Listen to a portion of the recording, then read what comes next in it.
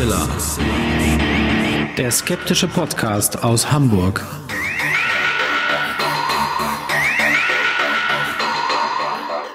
Hallo und herzlich willkommen zum 202. Mal bei Hoaxilla, dem skeptischen Podcast aus Hamburg. Wie immer bei mir meine wunderbare Frau Alexa. Hallo auch von mir. Ich freue mich, dass wir wieder senden. Ähm, und bei mir ist natürlich Alexander Hoaxmaster. Und damit herzlich willkommen im Jahr 2017 bei der ersten Episode diesen Jahres. Ähm, in der wir uns einem, zumindest könnte man meinen brandaktuellen Thema widmen. Nachher, ob das Thema für uns so ein brandaktuelles Thema ist, wird sich sicherlich in unserem Interview in der Sendung dann herausstellen. Aber zunächst einmal muss euch Alexa erstmal was erzählen. Die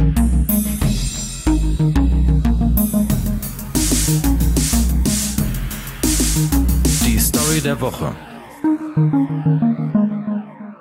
Ja, in der Story ähm, geht es diesmal, wie sollte es anders sein, um die neue Trump-Administration, also die neue Regierung, die wir in den Vereinigten Staaten von Amerika haben. Man kann im Moment sowieso keine Zeitung aufschlagen, kein Newsportal öffnen, weder Twitter noch Facebook sich anschauen, ohne über irgendwelche grauenvollen Neuigkeiten äh, dieser Regierung zu stolpern. Und in diese Kategorie fällt auch folgende Aussage, die nicht Trump selber getätigt hat, sondern sein Vize Mike Pence, der ja, äh, das ist äh, bekannt, ein glühender Verfechter ähm, der Anti-Abortion-Bewegung ist, der am liebsten äh, es hätte, wenn äh, Abtreibungen generell äh, verboten wären.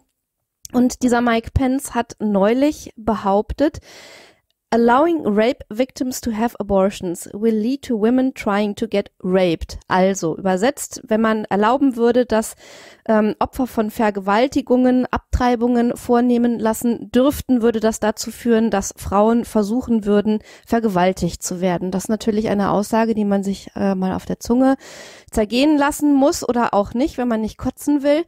Ähm, und das hängt damit zusammen, das wird in einem Artikel im Newsportal Newslow äh, noch etwas genauer ausgeführt, dass Frauen, wenn sie eine Abtreibung haben vornehmen lassen, Urlaub bekommen.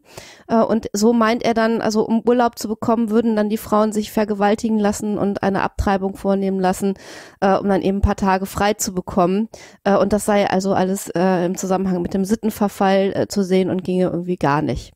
Wenn es sich dabei nicht um eine Falschmeldung oder ein Gerücht oder eine sonst wie geartete Unwahrheit handelt. Die Schlagzeile habe ich auch einige Male gelesen. Insofern bin ich sehr gespannt, ob das dann stimmt oder vielleicht so nicht stimmt. Das erfahrt ihr natürlich am Ende der Sendung. Und jetzt steigen wir da mal direkt in das Hauptthema unserer Sendung ein.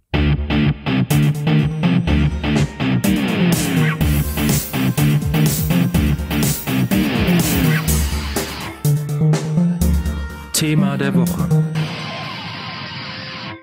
In dem Themenschwerpunkt der heutigen Episode von Hoaxilla haben wir einen Gast eingeladen, der seit vielen Jahren äh, Wegbegleiter und Freund von uns ist. Äh, bei uns heute zu Gast Dr. Sebastian Bartoschek. Glück auf! Genau, und für all diejenigen, die jetzt vielleicht neue Hörer von Hoaxilla sind und die vielleicht Sebastian auch noch nicht äh, wirklich kennen, ähm, vielleicht einmal vorab weggeschickt, nicht nur arbeiten wir viel vor den Kulissen, sage ich mal, zusammen, also das, was medial auch erkennbar ist, Sebastian, sondern vielmehr sind wir auch, glaube ich, in einem extrem regelmäßigen Kontakt äh, über ganz viele äh, Dinge. Ich glaube, das bekommen Zuhörer, Zuschauer, Leser gar nicht mit, aber es vergeht, glaube ich, kaum eine Woche, in der wir nicht uns intensiv austauschen. Das kann man, glaube ich, so sagen. Ne? Ja, ich hoffe, dass die Leute das nicht mitkriegen, denn im Moment, im Moment haben wir ja fast tägliche Briefings über den Zustand der Gesamtwelt jeden ja. Ja. Äh, wenn, wenn das die Leser genau. alles und die Hörer mitkriegen würden, ähm, dann äh, weiß ich nicht, ob das immer so gut wäre für genau. euch. um, um kurz einzuordnen, nochmal für all diejenigen, die ich nicht kenne, Sebastian, äh, wer du bist und was du machst. Es gibt das Institut Bartoschek aus dem Ruhrgebiet, deswegen ja, ja auch Glück auf. Äh, das ist eigentlich dein äh, Kerngeschäft und da gibt es auch eine Internetseite, die wir natürlich verlinken werden, www.institut-bartoschek.de.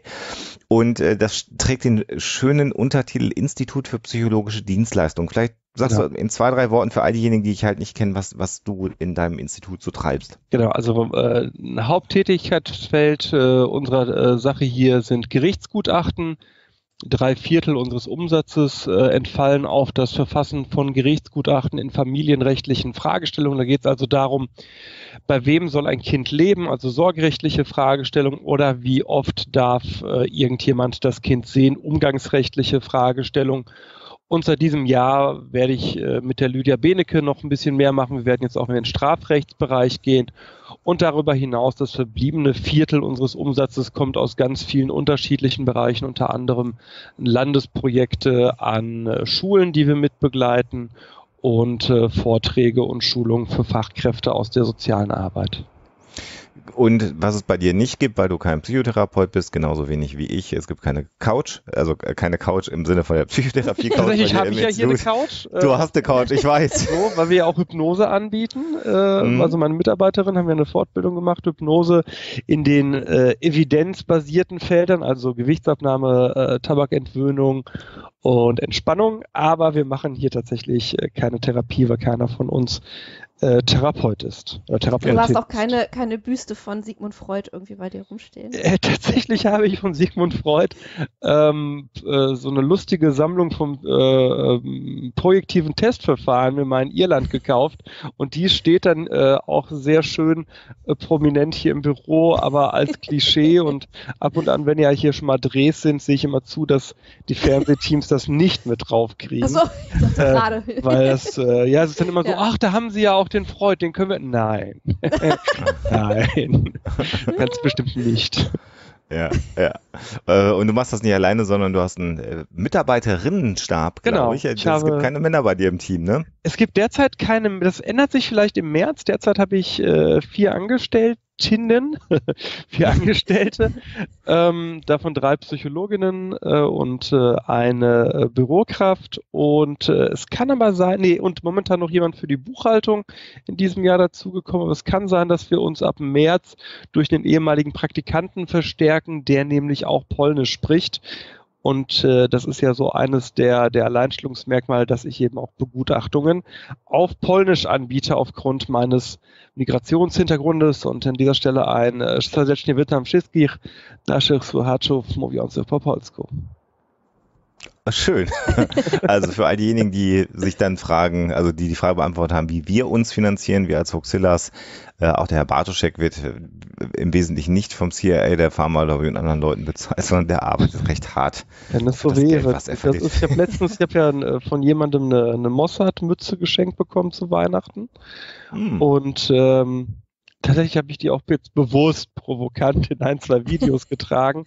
Und die Leute meinen das sofort ernst. Ne? Die glauben, dass der Mossad äh, mir tatsächlich Gelder überweist und ich solle Konten offenlegen und sowas. Und dann denke ich mir, Alter, wenn der Mossad mich überweist, würde ich dann mit verwackelter Selfie-Cam im Gelsenkirchener Zoo Sachen aufnehmen? Wohl eher Das nicht. ist doch nur, das machst du doch nur, um die tatsächliche äh, Faktenlage als Fake News als, zu als genau als Cover-up-Aktion, Ja.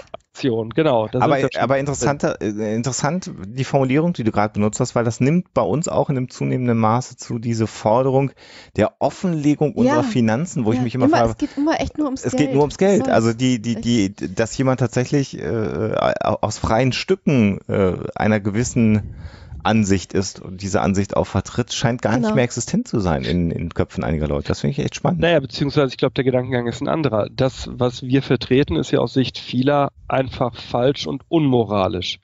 Und wieso machen Menschen denn falsche und unmoralische Sachen aus Sicht dieser Leute? Naja, wenn überhaupt, dann aus finanziellen Gründen. Äh, Mhm. Für das Gute muss man nicht Mhm. bezahlt werden, aber dieses abartige Zeug, was wir machen jeden Tag, da muss man uns schon echt viel Geld für geben, Ja, damit das man das macht. Ich glaube, das ist der Gedankengang Wird der dahinter. Gedanke sein, ja, ja, ja. Wo wir bei abartigen Zeug sind, genau darüber wollen wir ja heute ein bisschen reden, weil dieses Da, da sieht man es eigentlich schon. Ne? Das ist so diese absolute Vorzeichenumkehrung. Also das, was wir für äh, faktisch und für belegbar halten. Ähm, da sagen diese Leute, das sind alles Verschwörungstheorien oder, oder eben ähm, Lügen, um uns eben zu tarnen oder besser dastehen zu lassen. Äh, während wir sagen, wir wollen weiterhin über genau solche Mechanismen aufklären und über das, was tatsächlich so an falschen Dingen berichtet wird.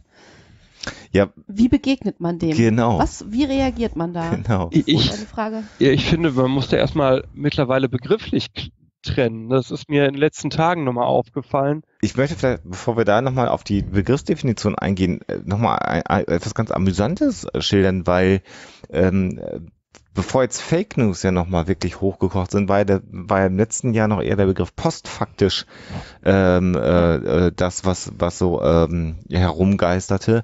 Und interessanterweise, Sebastian, gerade jetzt wir, ich weiß gar nicht, vier, fünf Jahre arbeiten wir zusammen.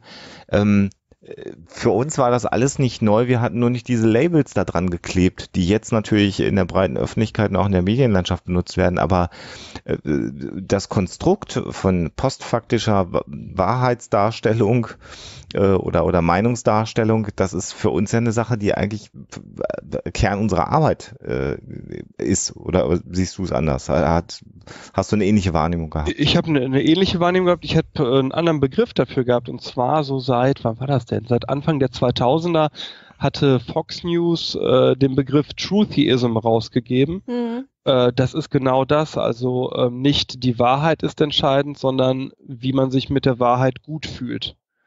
Und das mhm. ist ja, dann gab es ja auch, deswegen war ich ganz überrascht über diese, die Heftigkeit der neuen Diskussion, weil es gab ja sogar Studien in den 2000ern, die gezeigt hatten, dass äh, Leute, die Fox News konsumieren, weniger informiert sind als Menschen, die gar keine News konsumieren. Mhm. So, ne, da gab es äh, Studien zu. Äh, das war also alles bekannt und deswegen war ich dann äh, wahrscheinlich so wie du oder wie ihr auch ein Stück weit überrascht, als das letztes Jahr so als das äh, äh, der neue heiße Scheiß äh, gehandelt wurde, weil zumindest viele Medienkollegen mit einem Blick auf die USA das hätten kennen ja. können. Ja. Aber gut, Außerdem, ich meine, das was, ist dann was, immer so eine, ich glaube, es ist dadurch anders geworden, dass es eine andere gesamtpolitische Relevanz bekommen Nein, hat. Ja, das ist so ein bisschen wie, wie, wie eine Band, die äh, über Nacht äh, berühmt zu werden scheint äh, und man vernachlässigt dann aber den Umstand, dass die da vielleicht irgendwie vorher zehn Jahre dran gearbeitet haben. So, also quasi ähm, kannten wir schon postfaktisch, bevor es kommerziell wurde. Genau. So, so genau, da waren die noch gut. Ja, aber zumindest waren sie mehr zu belächeln, ne? Das, ja. Ich glaube, das ja. Lachen bleibt uns ja allen ja, oft im Halse stecken oder blieb uns letztes Jahr zumindest oft im Halse stecken. An, an, an vielen Stellen und für mich die Wahrnehmung, dass viele Leute, die immer Probleme hatten, äh, einzuordnen, was ich in meiner Freizeit treibe, spätestens so seit der Mitte des letzten Jahres, äh, da einen anderen Blick für haben plötzlich. Und ja, die Debatten haben, sind vorbei, ne? Warum machst ne? du das? Äh, wen ja. interessiert das denn? Mhm. Was soll das denn? Der, das, all die Debatten sind jetzt schon äh, seit ein, zwei Jahren, finde ich, schon mhm. vorbei. Ja. Und jetzt ja. spätestens, wie gesagt, also auch gerade diese Reisbürger-Geschichte, äh, ähm, das ist jetzt so wirklich, wo die Leute jetzt einfach sagen, ist ja interessant, dass ihr das damals schon gemacht habt. Ähm, aber nichtsdestoweniger wollen wir nochmal, ähm, weil das, glaube ich, auch nochmal wichtig ist, auch vielleicht auch für unsere Zuhörer äh, in Debatten mal darüber sprechen, was genau ist denn jetzt eine Fake News? Und was ist es eben nicht? Und äh, Sebastian, da hast du dich ja auch schon relativ intensiv mit auseinandergesetzt und dich auch in sozialen Netzwerken etwas lautstark schon zu geäußert, ja, was denn nun was sei. Das kann ich ja. Also äh, Fake News sind bewusst falsch oder verzerrt dargestellte Meldungen, Nachrichten, die einen Zweck verfolgen. Äh, Fake News sind nicht Boulevard, Fake News sind nicht äh, normale Enten, ne, also mhm, Falschmeldungen, genau. die passieren. Äh, es ist auch keine äh, Fehler in der Berichterstattung, die sich halt einschleichen äh, können mhm. immer mal wieder. Und dann es ist auch keine Satire. Ne? Medien auch wieder aufgeklärt werden natürlich. Genau, ja, mhm. genau. Und es sind auch keine satirischen äh, Sachen, sondern es ist halt. Echt? Findest du? Weil für mich, entschuldige, dass ich da so, ja. so dazwischen fahre, aber weil, weil, für mich der Inbegriff von Fake News und äh, damit auch nicht neu ist die Seite Weekly World News. Die gibt es seit mhm. einigen Jahren und das ist so ein bisschen wie der Postillon, nur nicht ganz so satirisch, äh, die setzen äh, völlig abstruse, aber teilweise auch einfach etwas überzogene ähm, Nachrichten in die Welt. Und es ist in der Vergangenheit, also die wirklich ein sehr hoher Prozentsatz von Stories der Woche, äh, die ich bei Huxilla verwendet habe, sind irgendwann mal bei Weekly World News entstanden und dann, weil sie gedacht haben, die seien echt, diese Nachrichten von, sagen wir mal so seriösen Nachrichtenportalen aufgegriffen worden und dann eben waren sie nicht mehr aufzuhalten. Und ähm, Weekly World News hat nicht ganz so sehr wie der Postillon, aber auch so einen leicht satirischen äh, Anspruch. Und insofern würde ich schon sagen, dass so dieser Begriff der, der Satire oder des Narrentums da schon eine gewisse Rolle Ich habe spielt. gesehen, dass die Mimikama-Leute das so definieren wie du oder wie ihr. Ähm, ich war also meinetwegen. Für mich ähm, ist aber ich habe es nie so gesehen, weil für mich entscheidend ist, dass die Person, die es verbreitet, äh, den wahr oder ähm, es als wahr darstellt. Weißt? Mhm. Und da fallen dann Sachen wie Onion, Postillon, Mhm. Titanic, also Man- die ganzen Satire-Seiten äh, unterm Strich raus. Ne? Genau. und äh, da sieht man dann irgendwie. aber ja, da sieht man es dann. Also das ist aber genau der Mhm. Punkt, ne? Das, Mhm. das ist für mich der Punkt. Das Ja, heißt, okay. die, Das- die tun nicht so als, also ja, es ist halt Satire, ne? Sie tun eigentlich schon so als Mhm. Aber ob, wenn man hinguckt ein bisschen, dann. genau, genau. aber sie, sie, ähm, ja, Mhm. ich, ich hoffe, dem Hörer ist klar, was wir meinen. Also Ich glaube, man kann, man, du, äh, man man kann das sogar unter Fake News äh, äh, deklarieren, weil du hast ja gerade schon gesagt, wenn mit äh, dem bewussten Verbreiten von einer nicht realen Meldung, vielleicht wollen wir es mal darauf zurückkommen, eine Agenda verbreitet wird. ja gut, die Agenda, oder, oder eine Ag ja, okay. Agenda verbirgt. Wenn man das so definiert, dann könnte man natürlich diesen ganzen Satire-Seiten äh, die Agenda unterstellen, dass sie damit die Medien karikieren wollen. Äh, das wäre dann eine Agenda, die sozusagen eine ehrenwerte Agenda für Fake News, wenn wir es denn mal so nennen wollen, äh, wäre. Äh, Und das, was du gerade natürlich äh, geschildert hast, Sebastian, ist dann eher die dunkle Seite. dunkle Seite, Mhm. vielleicht das, was man äh, auch Propaganda nennen kann. Also äh, Das finde ich wiederum nicht. Da habe ich, da hab ich widersprochen. Propaga Okay. Propaganda ist ja was anderes. Propaganda äh, ist doch eigentlich Werbung. Und das ist ja äh, ein bewusstes, ein bewusstes Werben für gewisse Inhalte. Der Begriff hat in Deutschland eine sehr negative äh, Konnotation natürlich durch die äh, d- gerade durch Goebbels bekommen. Äh, Mhm. aber an sich heißt Propaganda ja nicht, dass ich lüge.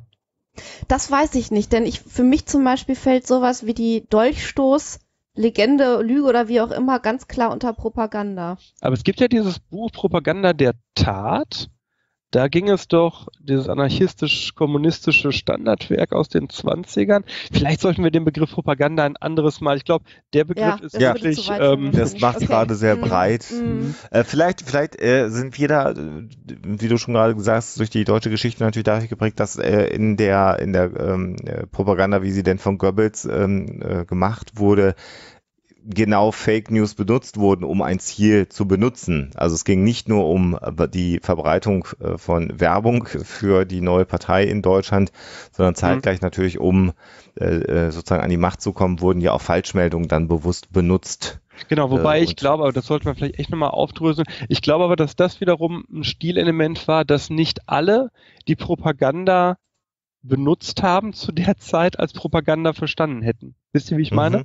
Mhm. Aber das, ich glaube, das ist ähm, kulturhistorisch, politikwissenschaftlich am besten aufzudröseln. Mhm. Ja, aber vielleicht nochmal ganz wichtig, wenn also ein Journalist sich mal verspricht oder eine falsche Aussage trifft, dann ist das ein Fehler und eben keine Fake News. So wie mit- dieser Martin Luther King äh, Büste, die angeblich aus dem Weißen Haus entfernt wurde und das war dann tatsächlich eine Oversight von dem entsprechenden Journalisten, der das aber auch wirklich ganz ehrlich und offen wieder aufgeklärt hat hinterher.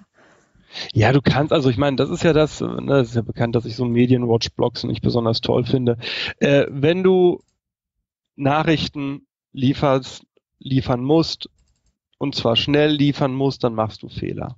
Hm. Willst du keine Fehler machen und gerade bei den Agenturen sollte alles darauf äh, gedrängt werden, dass keine Fehler passieren, weil Agenturmeldungen ja äh, in Deutschland als werden. wahr äh, gelten, sobald sie in, im Raum stehen. Mhm. Aber natürlich passieren Fehler. Mhm. Und das ist, ist, in aller Regel sind das keine Fake News, sondern einfach Mhm. Fehler, wie sie jedem passieren in seiner Arbeit. Jetzt sehen wir aktuell tatsächlich, wenn wir dann den Blick einmal Richtung Amerika äh, richten, äh, wobei man auch da natürlich sagen muss, äh, noch, ich sage das jetzt mal ganz so viel, noch ist Amerika, Amerika ein souveräner demokratischer Staat. Insofern können wir da hingucken und können das kritisieren, aber ja, ja. ähm, ähm, äh, aber da sieht man, glaube ich, im Moment oder hat in den letzten Monaten doch auch sehr schön gesehen, wie zum Teil wirklich auch Falschmeldungen äh, benutzt wurden, um einen gewissen Eindruck äh, zu machen. Also äh, deine, deine Agenda zu benutzen? Oder ist das nur eine Wahrnehmung, die, die man so in einer Gesellschaft hat, die gar nicht so stimmt? Hat Trump. Wenn wir ehrlich sind, wissen wir es ja nicht. Wenn hm. wir ehrlich sind, wissen wir ja nicht, welchen Einfluss diese Fake News tatsächlich gehabt haben. Aber wir können ja. festhalten, es hat sie gegeben. Sie wurden im Wahlkampf eingesetzt. Den Wahlkampf hat äh, Trump gewonnen und am Ende, wie das so ist, der Erfolg hat immer viele Väter. Der Misserfolg ist eine Weise. Will jeder es mhm. gewesen sein, der Trump zum Sieg geführt hat. Und äh, ähm, ich glaube aber insgesamt, dass diese Fake News insofern auf jeden Fall eine Relevanz haben, äh, weil sie in einer Art und Weise und einem Ausmaß konsumiert werden, äh, das ein, schon ein neues, äh, wie soll ich sagen, eine neue Quantität erreicht hat. Mhm. Ja, und sie halt auch äh, aus, aus wirklich kommerziellen Gründen absichtlich äh, massenproduziert werden, wenn ich jetzt an die äh, mazedonische Fake News Schmiede denke und, und ähnliche Phänomene. Also mhm. ich glaube, das ist auch eine Qualität, ähm, die wir so in der Form vorher nicht hatten, dass Menschen halt bewusst gesagt haben, mir ist das moralische Gerüst drumherum völlig schnuppe, aber ich mache damit gutes Geld irgendwie äh, und deswegen äh, ist es mir halt wurscht. Was naja, hinterher wir, damit passiert. Wir, also das Spannende ist auch da, äh, haben wir auch lange Zeit Sachen ausgeblendet. Ne? Wir wussten über äh, russische Trollfabriken äh, Bescheid, die mhm. auch entsprechende Fake News äh, generiert und verbreitet haben. Mhm. Phänomene wie Russia Today, Sputnik News sind äh, mhm. äh, nicht neu. Ähm, ich glaube tatsächlich, dass für uns alle das große Aha-Erwachen in der Aufmerksamkeit in der Thematik durch die Wahl von Donald Trump passiert ist. Und wir auf einmal merken, ähm, vielleicht äh, kann es sein, dass die anderen gewinnen. Mhm. Ja. Ähm, äh, Breitbart ist ja auch so ein Portal, mhm. das äh, große Meldungen verbreitet, von denen man dann mitunter feststellen muss, äh, dass diese Dinge so wie sie denn, erlogen sind. ich, gut, ich wollte es etwas äh, eleganter formulieren, aber ja, äh, Breitbart wird demnächst in, in Deutschland mit einem deutschen Portal an den Start gehen. Ist es vielleicht so, ähm, dass die äh, ich, ich mache das jetzt mal ganz plakativ. Dunkle und äh, gute Seite der Macht, sage ich mal, ja. Und so Breitbart und die Fake News verbringen. Das, entschuldige bitte, aber das, dieser Vergleich ist perfekt, weil ja äh, Steve Bannon sich, das hat er jetzt gerade wieder getan in einem Interview, sich gerne selber als Darth Vader bezeichnet. Sag kurz, also genau. wer, wer, das ist. Äh, Steve, Steve Bannon ist äh, ein ehemaliger äh, Breitbart ähm, ja, Macher im Prinzip, der jetzt zum persönlichen Berater von Donald Trump äh, geworden ist, der sozusagen der äh, Strategist in Chief äh, sozusagen ist im Weißen Haus. Und äh, dass Steve Bannon äh, rechtsradikal ist äh, und ähm, sagen wir mal so, da auch eine gewisse Linie versucht vorzugeben in der Politik, äh, ist nicht von der Hand zu weisen. Und wie gesagt, also er bezeichnet sich gerne als äh, Darth Vader. Ist es dann so, dass die dunkle Seite der Macht die Technik besser verstanden hat als die gute Seite der Macht, Sebastian? Ich glaube Denn nicht die Technik. Ich glaube, ähm, die dunkle Seite hat besser verstanden, wie man, oder anders, hat sich getraut, Menschen anzusprechen. Da, wo äh, die, die, bleiben wir mal bei diesen Termini, wo die äh, helle Seite der Macht äh, geglaubt hat, gewisse Sachen äh, nicht machen zu dürfen, äh, ne, emotionalisierte Berichterstattung und und und. Gerade in Deutschland hat man da ja seit Jahrzehnten eine, eine traditionelle Abscheu in intellektuellen Kreisen davor. Ähm, ja, dass äh, diese Berührungsangst hat die dunkle Seite nicht gehabt und hat dementsprechend äh, den Menschen da berührt, wo es ihn eben immer am meisten berührt und das ist bei seinen Gefühlen. Äh, ich, ja, wobei ich das persönlich weiter eingrenzen würde. Nicht nur bei seinen Gefühlen, sondern bei ganz bestimmten Gefühlen, nämlich bei, bei Angst, äh, Abneigung äh, und im Prinzip ja auch äh, Furcht vor dem Unbekannten. Äh, und das äh, finde ich, also ich, ich kann es nachvollziehen, was du, was du meinst. Ähm, und du, du sprichst dich ja immer für den faktenbasierten Populismus aus, was ich sehr, sehr gut finde. Ähm, aber das ist natürlich auch nachvollziehbar, dass äh, sozusagen die intellektuellen Medien an diese Gefühle nicht appellieren wollten. Also ne, Wieso? es ist jetzt die Frage, ob es gut ist oder schlecht. Wieso ist das zumindest nachvollziehbar? Ist nachvollziehbar. Echt? Ist es für dich nachvollziehbar, wenn äh, jemand sagt, nee, vor Klimawandel und Zerstörung äh, durch Klimawandel, da möchte ich den Menschen keine Angst vor machen, weil Angst machen, das macht keinen Sinn. Äh, ich kann es zumindest nachvollziehen, weil man lange Zeit gedacht hat, dass man mit dem Erzeugen von, sagen wir mal so, so äh, oder sagen wir einem Appell an Verantwortungsbewusstsein weiterkommt. Äh, es stellt sich jetzt natürlich heraus, äh, dass dem nicht so ist, dass das eben nicht funktioniert.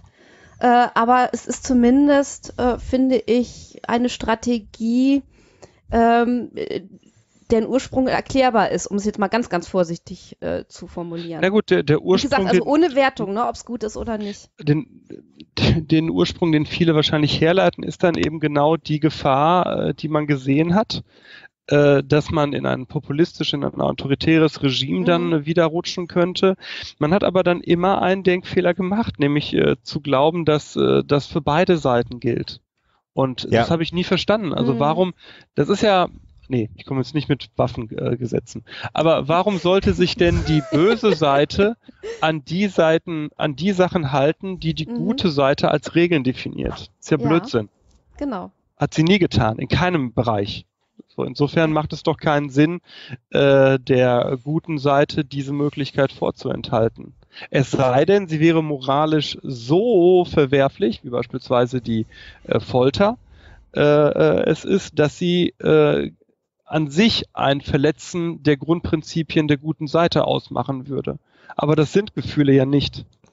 Äh, nee, aber wir haben, glaube ich, äh, im, November 2015 haben wir, glaube ich, sehr schön das mal auch äh, sozusagen formuliert bekommen, diese Ansicht, die Alexa ja auch geschildert hat. Nämlich, als der Innenminister Lothar de Maizière zur Absage des Länderspiels gegen die äh, Niederlande in Deutschland Mhm. äh, äh, äh, dann irgendwann in der Pressekonferenz ja sagte, ein Teil dieser Antworten würde die Bevölkerung beunruhigen Verunsichern. oder verunsichern. Ähm, ne, das ist ja eigentlich genau das, über das wir gerade gesprochen haben, da auch wirklich mal zitierfähig ähm, dargebracht. Und äh, wie du äh, natürlich richtig darstellst, Sebastian, jetzt ist es genau das passiert, nämlich andere Leute haben gesagt, wieso, da scheren wir uns gar nicht drum, sondern genau in die Kerbe stoßen wir hinein. Mit der Technik meinte ich übrigens, dass ich den Eindruck habe, dass äh, die, äh, Social Media also die, die, das Erreichen von Menschen, ich glaube, das ist allerdings natürlich nicht faktenbasiert, weil ich dazu keine Untersuchungen gemacht habe und ich muss auch gestehen, noch keine gelesen habe, dass so Portale wie Breitbart oder eben auch diese Agenturen, die angefangen haben, äh, diese Fake News Fabriken äh, zu mieten und äh, zu finanzieren, besser verstanden haben, wie man noch schneller an die Emotionen der Menschen drankommt, nämlich genau durch das Internet und durch die sozialen Medien. Das meinte ich mit Technik. Da wird jetzt gerade massiv nachgerüstet. Wir merken jetzt, wie sich die, äh, sagen wir mal, Online-Auftritte der renommierten Medien äh, verbessern, wo es immer mehr Online-Ableger gibt, wo Berichte dezidiert auch nur noch für den Online-Bericht produziert werden. Ähm, aber das kommt ja erst äh, später. Und ich habe immer den Eindruck, das ist eine Reaktion auf Hast das, was andere schon lange tun. Ähm, Das ist spannend, weil das Gefühl habe ich gar nicht bei den großen deutschen Medienhäusern. Vielleicht im öffentlich-rechtlichen. Da finde ich, hat eine, eine große Veränderung stattgefunden in den letzten zwei Jahren. Aber wenn ich jetzt, uns jetzt mal egal, auf wen ich da schaue, äh, Dumont, äh, Springer, ähm, Gruner und Ja, ich habe schon das Gefühl, dass die alle sich in den letzten Jahren unabhängig von dieser ganzen Thematik schon auf die Socken gemacht hatten. Im öffentlich-rechtlichen finde ich, da, da passiert jetzt was. Aber auch äh, selbst jetzt, wenn man mal auf andere, ne, auch die Süddeutsche und so, die haben ja schon, finde ich, immer gute Online-Arbeit gemacht. Was sich ändert, äh, beobachtbar finde ich, ist der Social-Media-Umgang der Bundes- äh, oder der generell von staatlichen Institutionen. Die Mhm. werden besser in den letzten ein, anderthalb Jahren. Mhm. Und ich finde das öffentlich-rechtliche. Da habe ich auch mit vielen äh, Journalistenkollegen aus dem öffentlich-rechtlichen gesprochen, die sehr unentschlossen waren lange Zeit. Wie gehen wir mit dieser ganzen Thematik um? Müssen wir mit Ja. jedem ins Gespräch kommen? Müssen wir jedem gegenüber wertschätzend bleiben? Dürfen wir Sachen zuspitzen äh, und so weiter? Da merke ich jetzt schon im Moment, äh, da ist letztes Jahr viel in eine Richtung passiert, die mir gefällt. Genau. Ähm, bevor wir darüber weitersprechen, wollen wir vielleicht ganz kurz einschieben äh, und mal klären, warum dieser Mechanismus der äh, tendenziösen Nachrichten im Netz so gut funktioniert. Frage, ist das so, weil wir nämlich auch beim Konsumieren von Nachrichtenmeldungen äh, jede dieser Meldungen im Prinzip mit unserem eigenen Weltbild abgleichen und eher das glauben, was unserem schon existierenden Weltbild entspricht? Also ich finde das zum einen, auf jeden Fall. Und zum anderen, ähm, es ist dieses alte Thema, über das wir ja, glaube ich, seit Jahren auch miteinander sprechen. Ich muss ja vertrauen. Ich kann Mhm. nicht jede Quelle überprüfen. Das kann ich Mhm. nicht. So, und dann äh, vertraue ich den Nachrichten, die wahrscheinlich Mhm. auf mich wirken. Und wahrscheinlich wirken sie, wenn da irgendwas vorkommt, was ich schon mal gehört habe, wenn irgendwelche Begriffe und Zahlen auftauchen, die es wissenschaftlich klingend machen und wenn es zu dem passt, was ich an sich denke. Wenn so diese Sachen zusammenkommen, dann ist es relativ unwahrscheinlich, dass ich eine Nachricht noch weiter checke auf die Quelle. Mhm.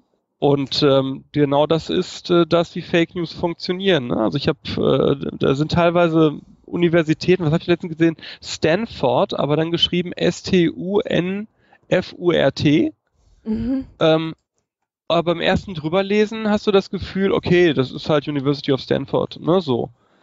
War halt rein fiktiv, aber weißt du, was ich meine? So, du, du, Ja, ja, es, ja. es klingt irgendwie, es ist ja eigentlich wie bei einer guten Verschwörungstheorie. Du brauchst so ein paar Fakten, die, die äh, stimmen und dann brauchst du ganz viele Fakten, die nicht stimmen, aber sich gut anfühlen Mhm. äh, und dann ist das Ding rund. Und du kannst, ähm, ja, es ist immer wieder die Frage, ne? Ähm, Ich, ich glaube ja nicht, dass du an den Konsumenten den Anspruch stellen kannst, äh, er muss alles nachrecherchieren, weil das geht eigentlich nicht und das machen wir alle auch nicht, ne? Mhm. Ich, ich finde ich find den Ansatz insofern gerade, das wird mir jetzt äh, beim Hören äh, nochmal so richtig klar, insofern auch wahnsinnig faszinierend im Moment, weil das würde ja bedeuten, wenn ich auf eine Nachricht stoße, die absolut sensationell klingt und die mich in meiner vorgefassten Meinung total bestätigt, ich erstmal vielleicht vorsichtig sein sollte. sollte. Das heißt, wenn der Artikel dann wenig differenziert ist,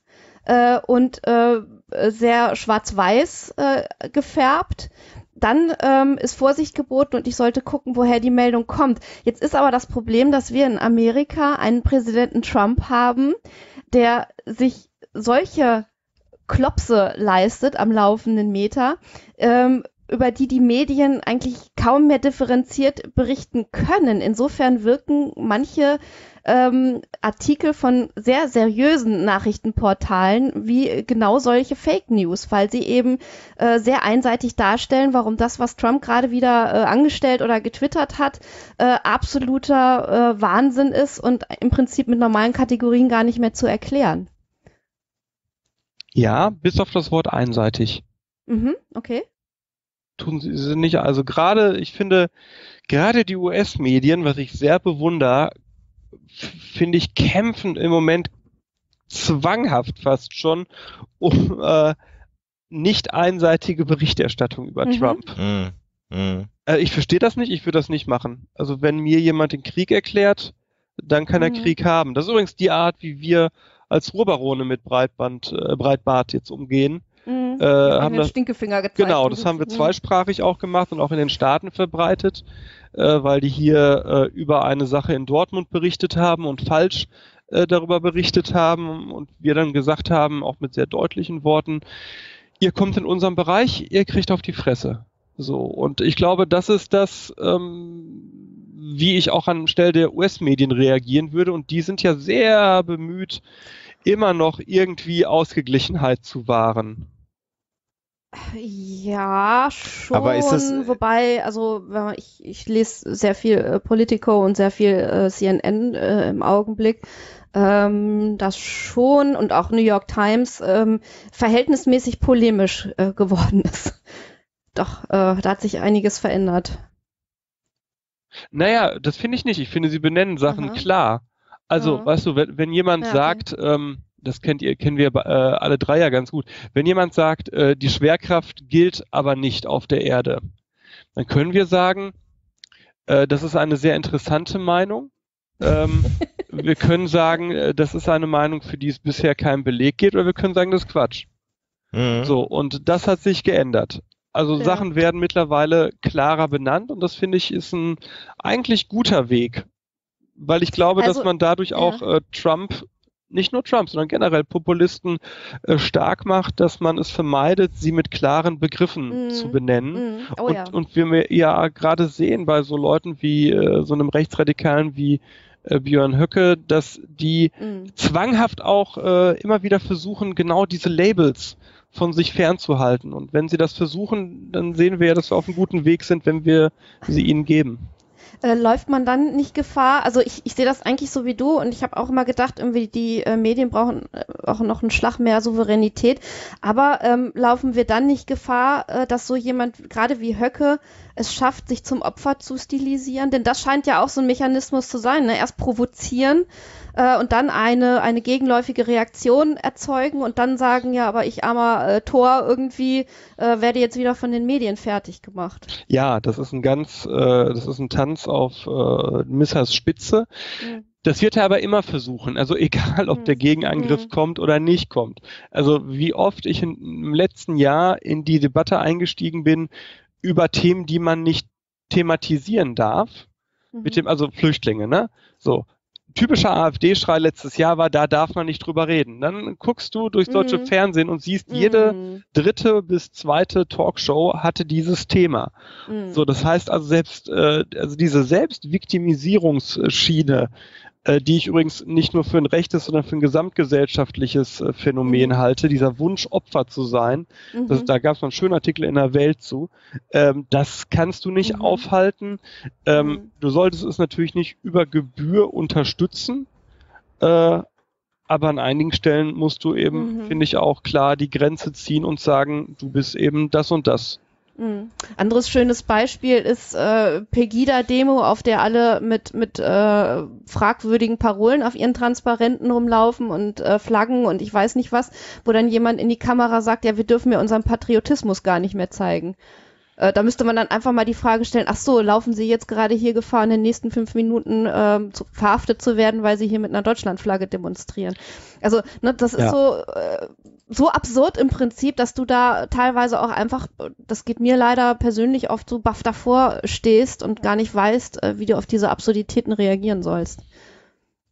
Ja, das, das ist ja die Frage, glaube ich, die wir uns alle stellen im Moment. Ne? Mhm. Was ist genau der eine richtige Weg? Und ich glaube Mhm. mittlerweile, äh, den einen richtigen gibt es Mhm. nicht. Ich glaube, Ja. dass es äh, wie so Ja. oft um einen ganzen Werkzeugkoffer gehen muss, äh, um verschiedene Sachen zu reparieren.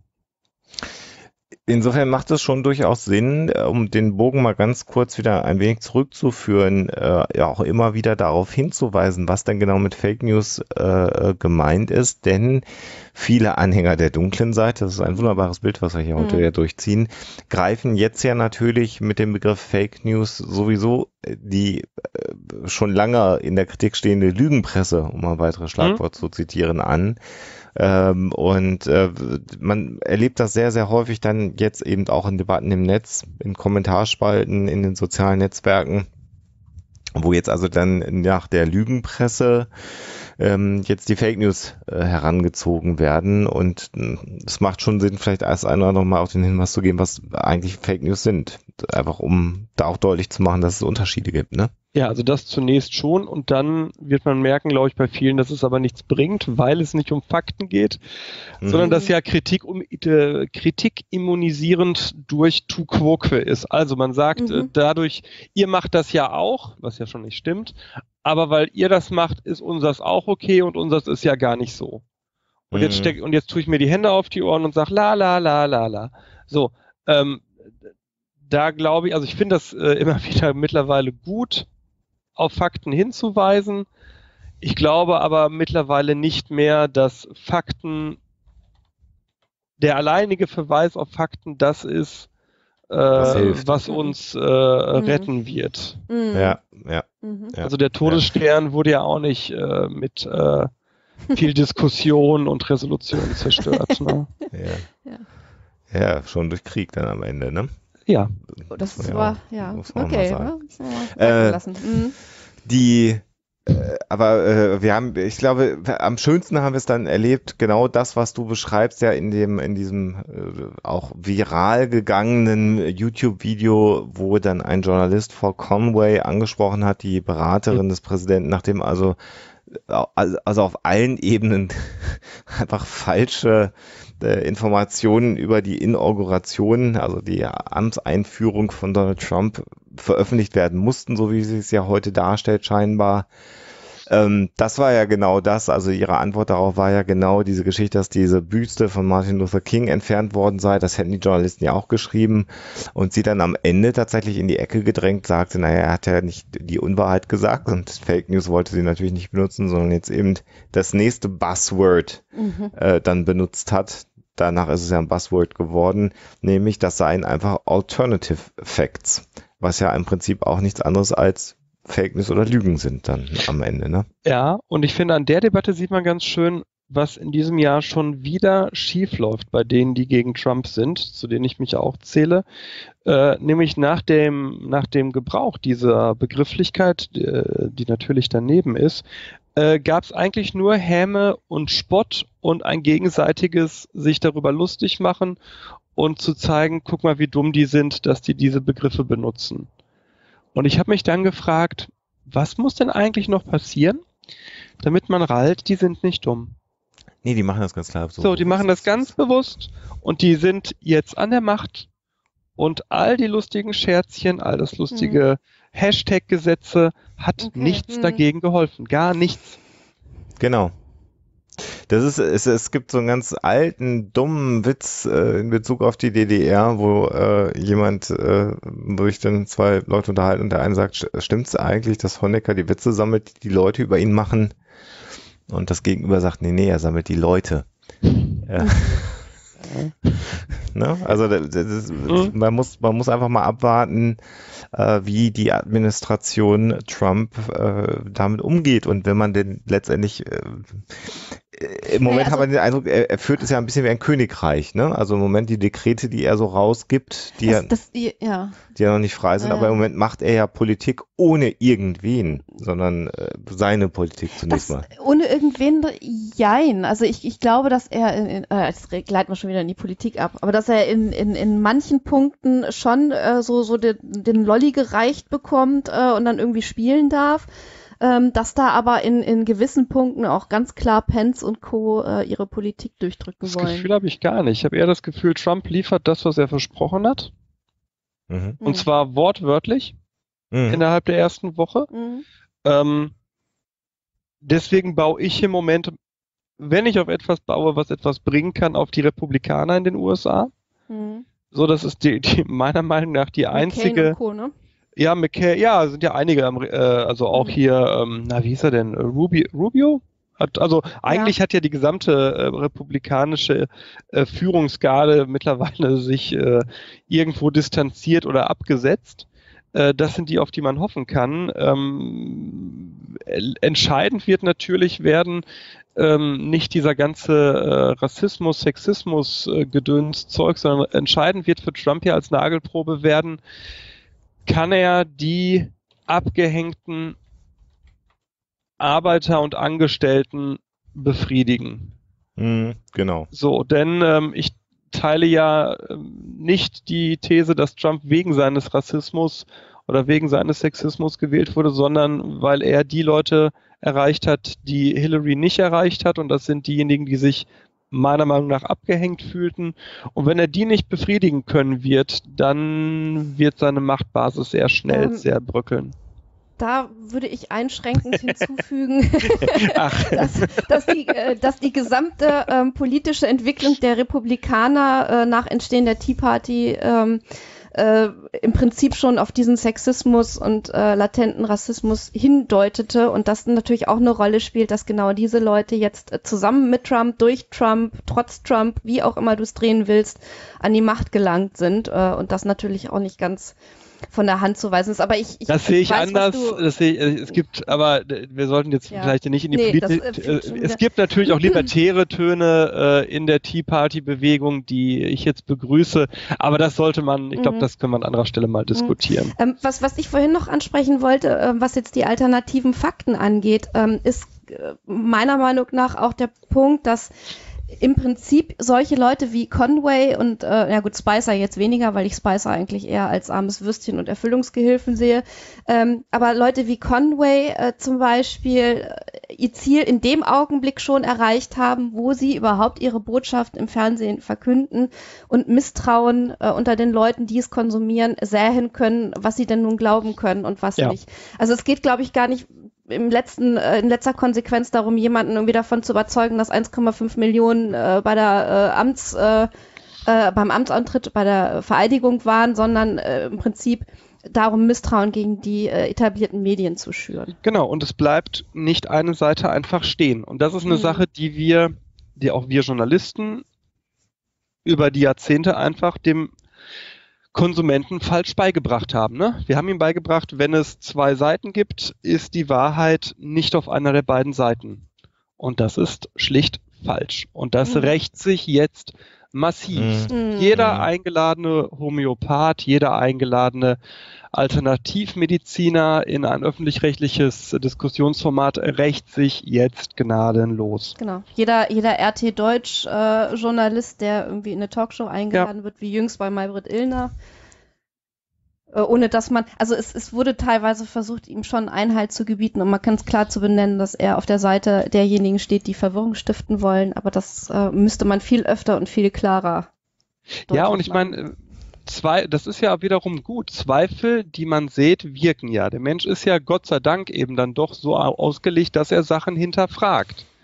So, aber er hinterfragt Sachen immer, wenn ein Zweifel gesät wird, egal in welche Richtung. Mhm. Und das ist äh, da das Problem. Und ähm, ja, wenn, wenn dann jemand sagen kann, äh, das waren alternative Fakten und das wird auch nur kurz so stehen gelassen, äh, dann hat sie den Punkt gemacht. Ja, jetzt haben wir sehr viel über Fake News gesprochen, über die Zielvorgaben von Fake News, über die Menschen, die Fake News einsetzen, können uns darüber aufregen, können das alle ganz grässlich finden. Äh, all diejenigen, die dafür bezahlt werden, die Wahrheit zu verbreiten, so wie wir alle, Sebastian, ja. aus unterschiedlichen Quellen. Äh, aber äh, wie, wie, wie, vielleicht geben wir unseren Hörern noch mit, wie schützt man sich denn jetzt vor Fake News? Also Alex hat es ja auch schon gesagt, ich jeder von uns ist ein Mensch und wir lesen etwas und wir finden uns in etwas wieder und sagen, Mensch, das klingt so plausibel, daran glaube ich jetzt mal. Ähm, was für, was für Handwerkszeug können wir denn äh, unseren Hörern an die Hand geben, um sich davor zu schützen, ein Stück weit auf Fake News hereinzufallen, so auf die Fake News, die wir jetzt als solche definiert haben? Ich glaube, die, die Kern, man könnte so ein Ablaufschema machen. Die erste Frage wäre, wie viel Zeit will der Leser damit verbringen, Fake News zu erkennen?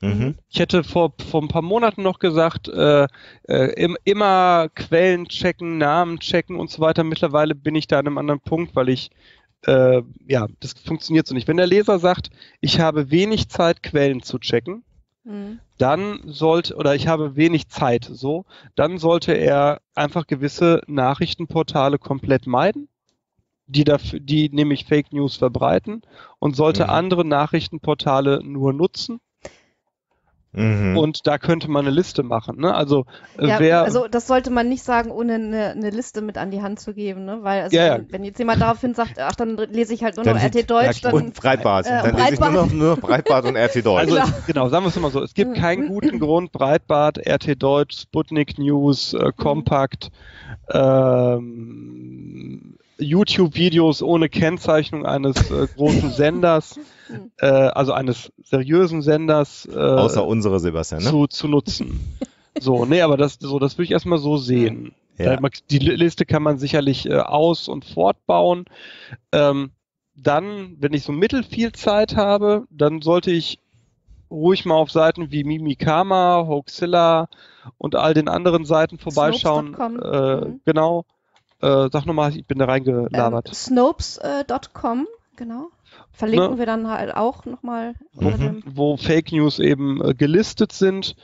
Und wenn man mittel bis viel Zeit hat, dann sollte man einfach mal, ähm, ich glaube, einfacher als sich, also nee, erstmal das Impressum der Seite angucken, auf der man es gefunden hat. Mhm. So, wenn, Mhm. wenn das nicht zusammenpasst zu der Quelle, äh, also wenn beispielsweise irgendein deutschsprachiges Nachrichtenportal im Impressum eine Adresse in Puerto Rico angibt, dann sollte ich mich fragen, ob das so sauber ist. An, äh, übrigens, äh, dann äh, kriegen auch die Kollegen von Psiram einen auf den Deckel, ne, weil die ja ihr Impressum in Hongkong Mhm.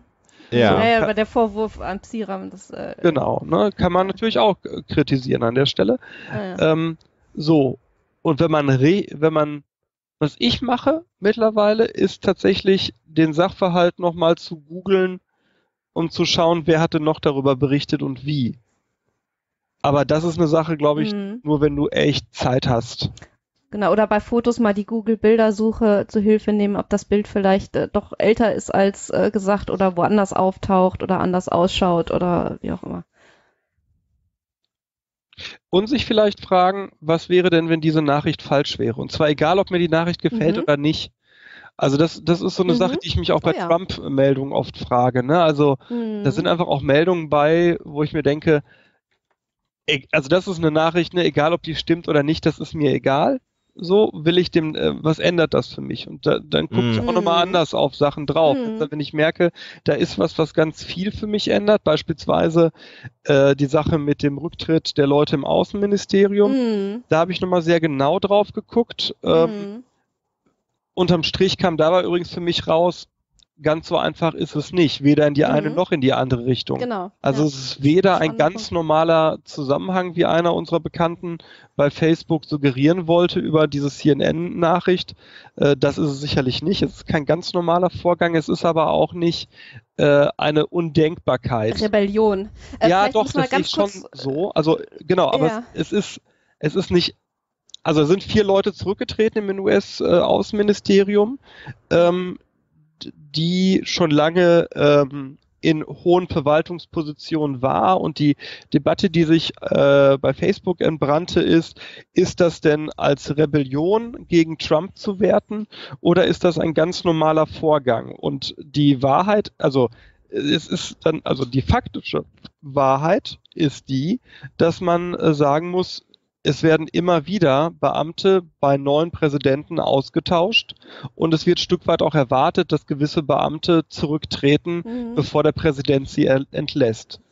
So, das ist erst einmal so. Aber, und das ist das, was für mich diesen Sachverhalt jetzt nochmal anders macht, die Leute, die jetzt zurückgetreten sind, waren seit Jahrzehnten unter verschiedensten Präsidenten unterschiedlicher Couleur Mhm. äh, tätig. Und Republikaner und Demokraten. Genau. Und Mhm. wenn die zurücktreten, finde ich, hat das dann doch äh, wieder eine andere Mhm, äh, okay. Facette, Mhm. weil ähm, man sich ja, also augenscheinlich, die ja nicht zurückgetreten sind bei anderen Parteiregierungswechseln. Insofern muss ja jetzt was anders sein. Mhm. Ja, Wo- wobei man, also wenn man, wenn man eine äh, fast schon offene Rebellion äh, gegen äh, Trump beobachten will, man ja nur äh, Äußerungen nicht nur von Demokraten, sondern auch von anderen Republikanern sich anschauen müsste, die jeder überall nachlesen kann. Also was da an, äh, sagen wir mal so Vorbehalten, äh, vorsichtig formuliert, geäußert wird, äh, das hätte es sicherlich in der krassen Form unter anderen Präsidenten so schnell zumindest nicht gegeben. Ja, warum aber dieses Außenministeriumsding für mich ein ganz großes Ding ist ähm, und wie ich finde nicht entsprechend, wobei es ist im Moment einfach auch schwer, alles entsprechend zu würdigen, Mhm. weil so viel passiert. Für mich sind die Außenministerien eines jeden Land oder anders, bei demokratischen Staaten, nee, nicht nur, generell in, in bi- und multilateralen Beziehungen sind für mich die Außenministerien und die Nachrichtendienste die Schlagader der Demokratien und des Miteinander. Mhm. Also Mhm. das Spannende ist ja selbst das nationalsozialistische Außenministerium, ne? das definitiv durchdrängt war von Nazi-Ideologie, hat trotzdem personell einige Kontinuität aus der Weimarer Zeit gehabt Mhm. und war Mhm. selbst in Kriegszeiten lange Zeit noch in Kontakt zu anderen Staaten. Mhm. Ne, und wenn ich jetzt höre, und das, deswegen schockt mich das so, wenn ich jetzt höre, da sind die Leute, die äh, nur wirklich ähm, von, von der Pike auf dieses Außenministerium kennen, jetzt weg. Und das in Kombi mit all den anderen Gestalten, die da jetzt im Weißen Haus rumspringen Mhm. und eine Außenpolitik, die durch 140 Zeichentweets äh, mitdefiniert wird, Mhm. hat mich das schon berührt, weil ich mich dann natürlich frage, ähm, du brauchst ja eine Kommunikationsbasis, um selbst mit deinen Feinden zu sprechen. Genau, und wie, wie gefährlich sowas ist, haben wir ja an dieser Geschichte mit Israel und äh, Pakistan äh, gesehen, wo es um eine unter Umständen ziemlich handfeste atomare Auseinandersetzung äh, äh, ging, die äh, im Prinzip ja fast auf Twitter angeleiert worden ist. Genau, verm vermutlich. Auch da habe ich letztens mit jemandem äh, von Ja? der Amadeo Antonio Stiftung drüber gesprochen. Aha. Wir haben nämlich ein ganz anderes Problem im Moment. Wir wissen doch eigentlich alle gar nicht, ob hinter diesen Tweets eine Realität steckt. Ja. Also Ach so, meinst du auch unter. Ah, okay. Also, ne, guck mal, wenn, wenn das jetzt, wenn das jetzt eine Sache von, von Gegenspionageaktionen wäre, ne, dann äh, hat Pakistan mit einem Tweet auf einmal seine Kriegsbereitschaft mit Atomwaffen demonstriert, ja. von der wir eigentlich nachrichtendienstlich und so normalpolitisch gar nicht wissen, ob sie besteht. Hm. Mhm. Es wird, Mhm. es wird einfach komplexer im Moment. Ja. Ne? Und äh, da müssen wir, finde ich, auch Antworten liefern. Da müssen sich auch, finde ich, gerade die, die demokratischen Staaten nochmal aufstellen. Ähm, wie sollen, wie wollen wir soziale Medien äh, nutzen im Rahmen von bisher normalen diplomatischen und nachrichtendienstlichen Austauschen? Hm. Ja. Ich fand das ja spannend. Irgendwer, wer hat denn da jetzt äh, vermeintlich sein Passwort getwittert? Spicer. Spicer. Ah, genau. Spicer. So. Finde ich spannend, weil er twittert einfach irgendwas, ne? Er könnte Mhm. ja auch einfach stockbesoffen oder als Gag Ja. diese Kombi eingegeben haben. Und es ist Ja, eine ja. Top-1-Nachricht weltweit. Hm. Ja, ja. Ich, ähm, ähm, also wir haben, glaube ich, die, die Frage, wie man sich schützen kann, ein Stück weit beantwortet. Wir haben dann nochmal eine kleine Schleife gerade gedreht. Ja, Ich glaube, was, nö, ist ja völlig legitim, aber ich glaube, was so überbleibt, ist, äh, und das ist ja auch schon ein fast tot zitierter Begriff, diese Medienkompetenz, die erwartet wird. Und ähm, ich glaube, was wir, was wir alle miteinander lernen, ist, dass äh, niemand diese Kompetenz tatsächlich hat, sondern äh, sich die Realität so schnell wandelt, äh, dass wir uns alle ständig diese Kompetenzen ja neu erwerben und, und erweitern müssen. Es gibt ganz oft ja die Diskussion darüber, dass Kinder Medienkompetenz lernen müssen, aber eigentlich ist es ja ein bisschen arrogant zu sagen, die Kinder müssen das lernen, weil auch wir Erwachsenen Mhm. im Wesentlichen äh, mit einem sehr neuen Medium aktiv sind, mit einem Medium, was sich ständig wandelt und wenn man Dinge wie Social Bots, also irgendwelche automatisierten Tweets, die so tun, als ob sie reale Personen seien, äh, das wollen wir uns bei Huxela auch nochmal demnächst anschauen, ähm, dann müssen wir alle ständig lernen. Das heißt, man muss sich auch bewusst sein, dass äh, die gute alte Zeit, in der wir eines der Leitmedien äh, am besten noch Print aufgeschlagen haben am Sonntag und das gelesen haben und uns auf alles verlassen haben, was da drin steht, was vielleicht damals auch schon falsch war. Äh, aber das ist jetzt komplett vorbei, weil Nachrichten können uns auf tausende von Arten erreichen. Oder sie kommt wieder. Da habe ich in letzter Oder Zeit viel wieder. mit, mit, mit medienpolitischen Leuten auch mal drüber gesprochen. Äh, Die Frage ist ja, was steht am Ende des Ganzen, ne? Hm. Und es gibt, finde ich, drei Szenarien. Das erste Szenario gefällt keinem. Äh, Trump erwacht morgens, hat keinen Bock auf Mexiko, drückt auf den Atombombenschalter und wir brauchen uns über Medien überhaupt keine Gedanken mehr machen. So, das ist Szenario eins, das wollen wir alle nicht. Szenario zwei ist, äh, das Ganze bleibt wie es ist und es gibt im Prinzip eine Spaltung zwischen Menschen, die mit Medien umgehen können und Menschen, die das nicht können. Hm. Unser Ziel derjenigen, die sich für diejenigen halten, die damit umgehen können, muss es ja sein, die anderen zu befähigen. Es gibt ja da auch da wieder zwei Möglichkeiten. Entweder wir befähigen alle, damit umzugehen, weil Mhm. ansonsten äh, haben die anderen ja äh, irgendwann die, die Mehrheit und es Mhm. ist scheißegal, dass wir damit umgehen können. Äh, oder wir unterdrücken in einem Staat all diejenigen, die keine Ahnung haben. Das ist dann so das 1984-Szenario. Das ist, äh, denke ich, nichts, was unserem Menschenbild entspricht. Mhm. Das zweite Szenario ist aber, dass die Menschen, die Menschen TM, irgendwann wieder merken, ähm, dass sie Journalisten brauchen, Hm. damit sie Sachen eingeordnet bekommen, weil sie merken, dass sie sonst in Infos und in der Prüfung von Informationen ertrinken. Das heißt, dass die äh, Bürgerinnen und Bürger wieder bereit sind, Journalisten ihren Job machen zu lassen. Ja. Darf ich, darf ich da mal eine steile These noch äh, einwerfen, ähm, dass zu dieser Medienkompetenz auch eine gewisse äh, emotionale Kompetenz gehört, nämlich, äh, um mal, äh, also ich hoffe, ich projiziere jetzt nicht äh, von mir auf, auf andere, äh, dass man doch öfter mal die emotionale äh, Investiertheit, die man so bei gewissen äh, Meldungen verspürt, äh, ein Stück äh, zurückfahren sollte. Also einfach mal irgendwie einen Schritt zurücktreten, einmal äh, tief durchatmen, vielleicht bis zehn zählen und dann die Meldung nochmal neu bewerten sollte. Das fände ich gut, das wird aber nicht funktionieren, weil es der menschlichen Natur Ja, widerspricht. ja, ja, klar. Na, also ich- Dazu ich müsste halte- man sich erziehen, ja. Nee, ich halte alle Ansätze für nicht gut, die der menschlichen Natur zuwiderlaufen an der Stelle. Spannend. Weil Mhm. das, das, das wird, das funktioniert, aber das braucht Jahrhunderte. Ja. Mhm, mhm, Und mhm. das, ich glaube nicht, dass wir diese Zeit im Moment haben. Mhm. Nee, ganz sicher nicht. Mhm. Aber deswegen vielleicht äh, sollten da draußen äh, Schulen zuhören. Ne?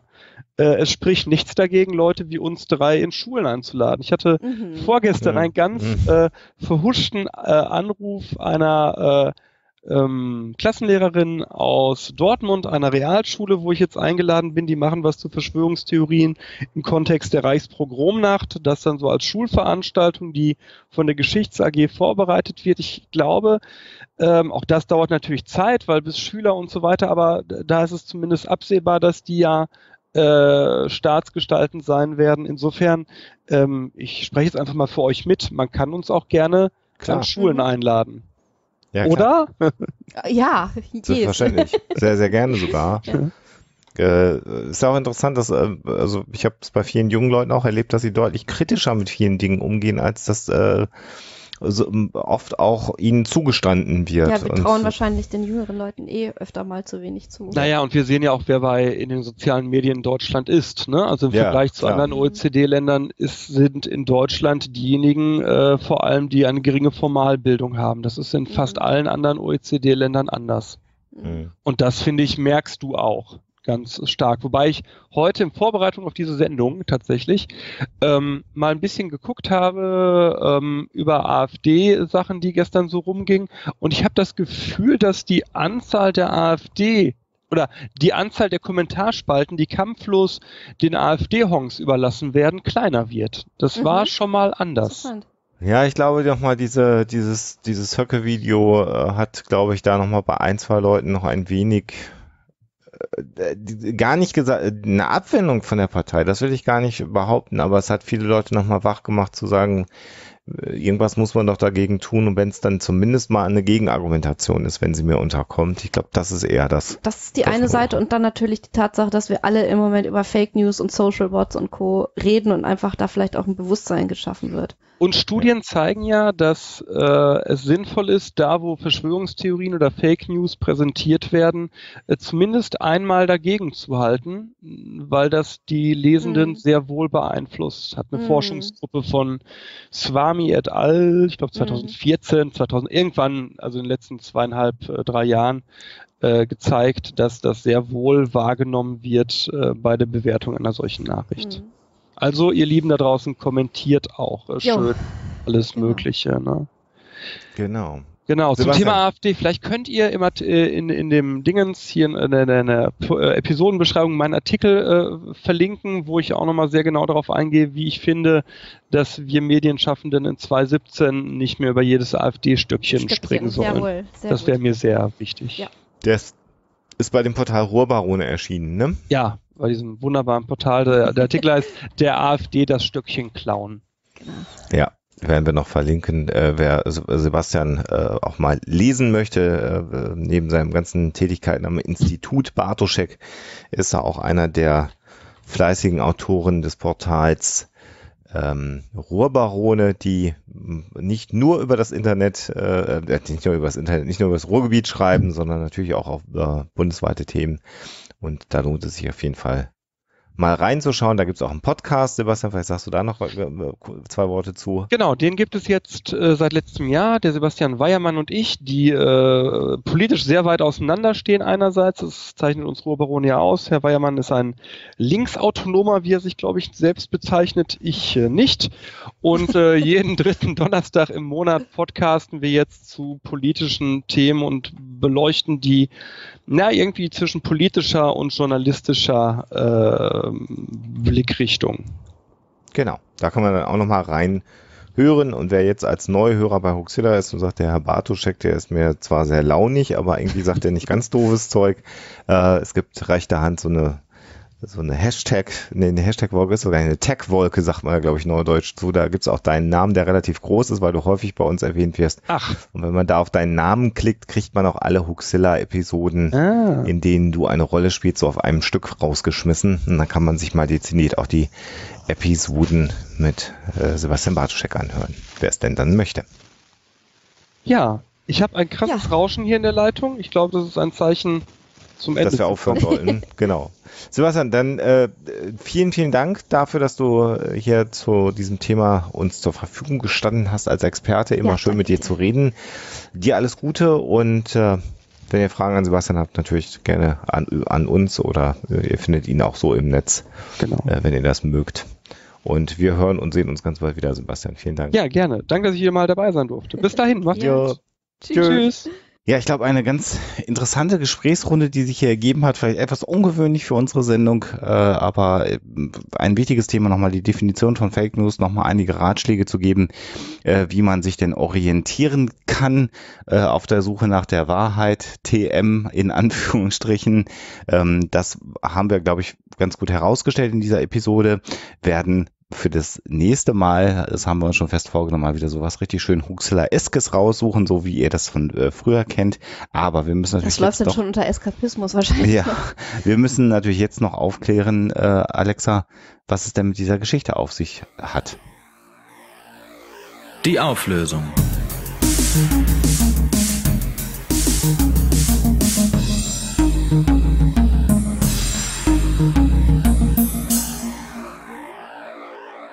Ja, die Aussage von Mike Pence, äh, dass es, wenn es Frauen möglich wäre, Abtreibungen zu bekommen, wenn sie vergewaltigt worden sind, dazu führen würde, dass sie versuchen würden, vergewaltigt zu werden, ist tatsächlich eine Falschmeldung äh, und etwas, wo man tatsächlich auch mal äh, wirklich genauer hingucken sollte. Ich hatte ja eingangs erwähnt, äh, dass das Ganze auf dem Newsportal Newslow äh, zu finden ist. Ähm, also das ganze News wie die Neuigkeiten, lo.com.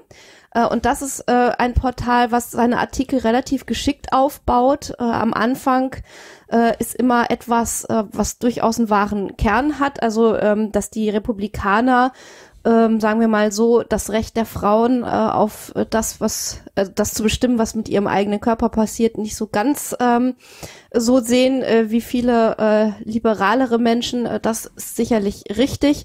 Das wird am Anfang dieses Artikels beschrieben und dann kommt es eben äh, zu dieser Aussage und der Ausführung, die ich eingangs so ein bisschen beschrieben hatte. Also äh, wir haben also eine Meldung, die, die aus einem wahren Kern besteht, um den dann herum so eine Falschmeldung gebaut ist. Das macht es natürlich ein bisschen perfide weil es schwierig ist zu erkennen.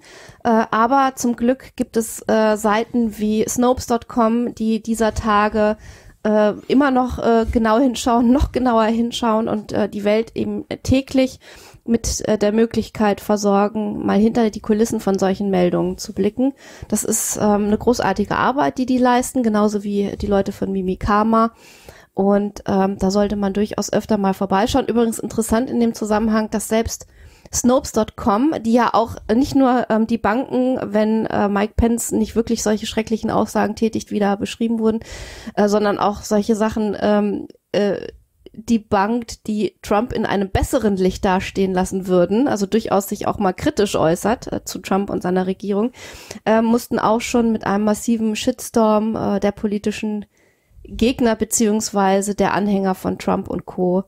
Ähm, äh, sich auseinandersetzen. Und äh, da sieht man mal, also die Leute, die sich für die Aufklärung einsetzen und für die Verbreitung der Wahrheit einsetzen, äh, haben es auch nicht so leicht dieser Tage.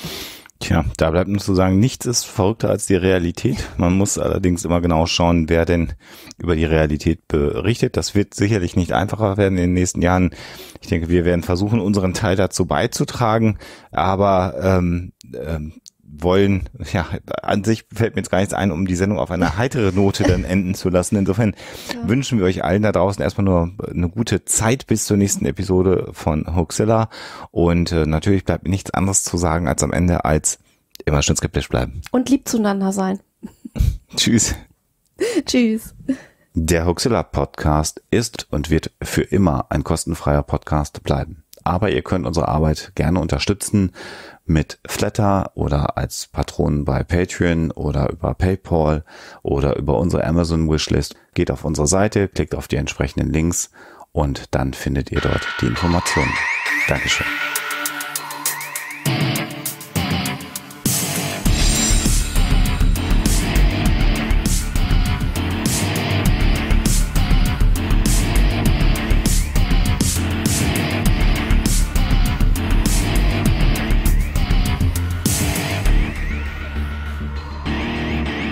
Schickt Fragen, Anmerkungen oder Feedback an info@huxilla.de. Und wenn ihr mögt, dann bewertet uns doch bei iTunes oder einer der anderen Podcast-Seiten, die uns führen.